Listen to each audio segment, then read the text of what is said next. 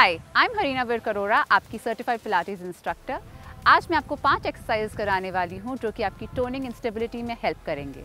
चलिए शुरू करते हैं।